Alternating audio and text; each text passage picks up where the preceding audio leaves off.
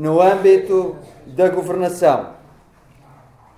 Quero dar uma nota de enorme regozijo e de agradecimento aos senhores presidentes de junta e aos seus executivos pelo aquilo que nos têm permitido não só no passado, no presente, mas também aquilo que estão disponíveis para o futuro.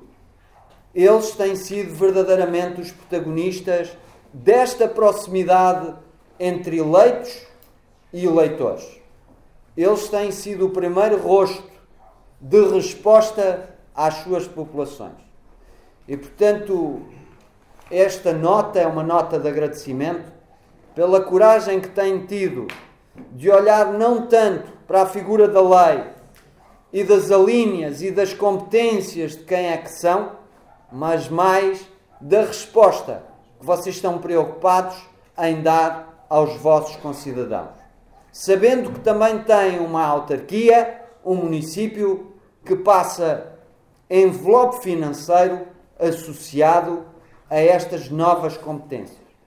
E é sempre bom sabermos isto, que estamos com praticamente um ano de descentralização de competências e neste ano, entre as competências, viaturas, um conjunto de, de instrumentos, o município passou cerca de um milhão de euros para todas as juntas de freguesia de forma direta e indireta. Não passou só responsabilidades, mas quero-vos agradecer também a vossa disponibilidade para a execução de contratos interadministrativos para novas obras. Novas obras que ocuparão um orçamento para estas juntas todas de cerca de 600 mil euros. Obras que as juntas conseguem fazer mais rápido, com menos dinheiro, com mais eficiência e com maior focalização. Dinheiro este, naturalmente, que vem da Câmara Municipal.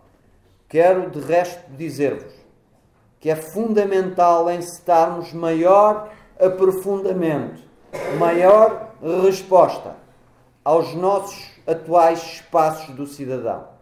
E dizer-vos que a oportunidade que nós temos hoje no Conselho de Óbitos não é o normal pelo país inteiro. Hoje temos espaços do cidadão, um em cada junta de freguesia. E vocês sabem que estavam previstos apenas dois no nosso território. E temos seis, seis sete espaços do cidadão.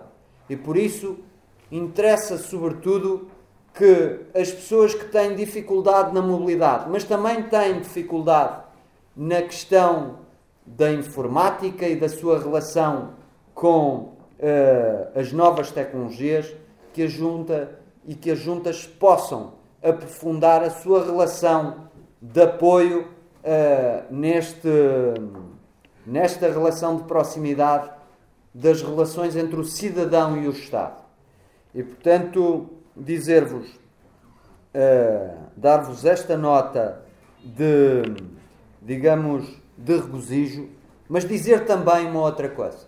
Este é um ano em que a Câmara Municipal, o Executivo, será mais exigente ainda com os serviços internos, com as pessoas da administração local, para encurtar espaços de resposta uh, aos seus cidadãos.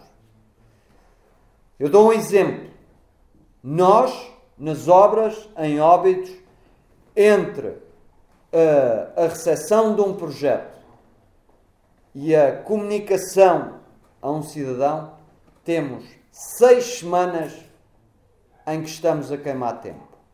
Já disse internamente, inclusive é o meu chefe de gabinete que tutela a área da modernização administrativa e que sei que está a trabalhar nessa dimensão, que tem que encurtar em absoluto estas respostas.